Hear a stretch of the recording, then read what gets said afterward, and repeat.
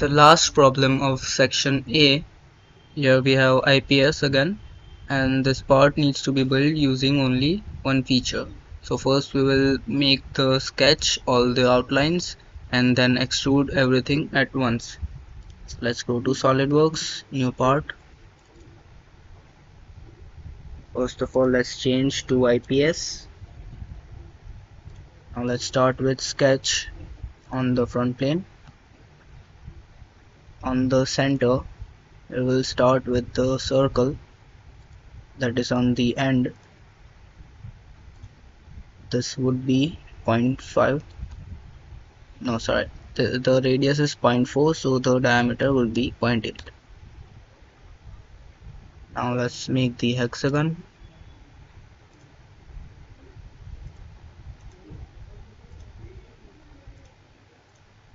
This is 0.5 and to constrain it just make this one line horizontal.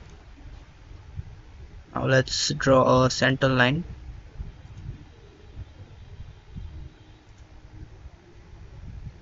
From this end let's draw a circle.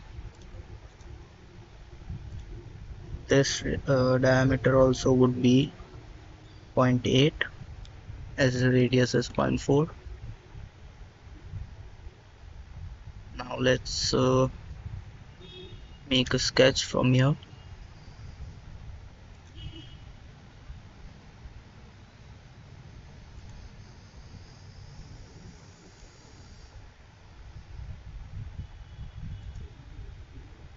And trim what we do not need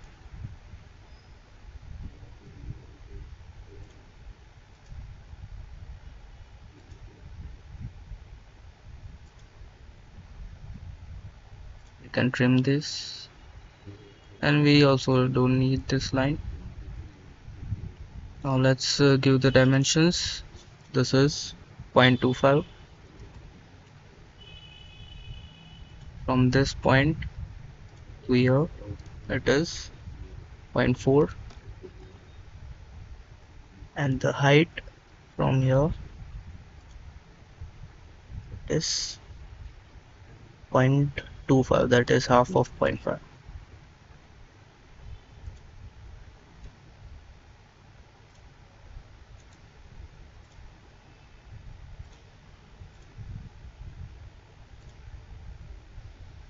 now from the sketch you can see that uh,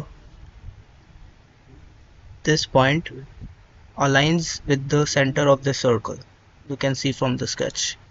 So let's select this point press shift key select this point and make vertical. Now it is aligned and uh, now we can simply just select all of these lines then select this center line and mirror entities to mirror everything. This is not constrained because we have not yet defined the distance of the center line we'll have that when we draw these lines. We don't need tangent we just need a simple line.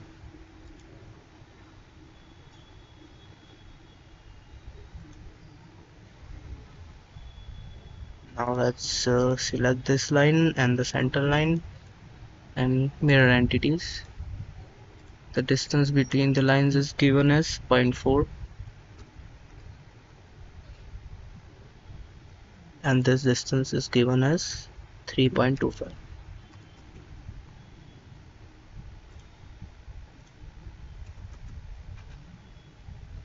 look now everything is constrained when we give this distance. Let's uh, trim what we do not need. Make the sketch closed. Sketch is complete. Now let's go to extrude and we have to extrude 0.3 inches.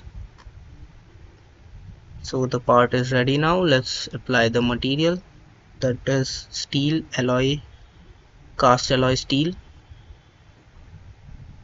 Here it is. Apply close.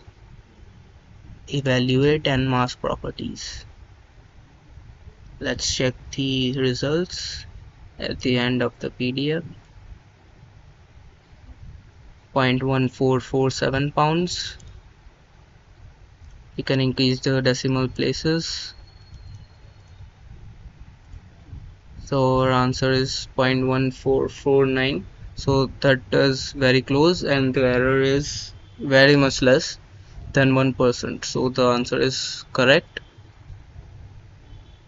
So this was the last problem for section A. We'll move to section B in the next video so thank you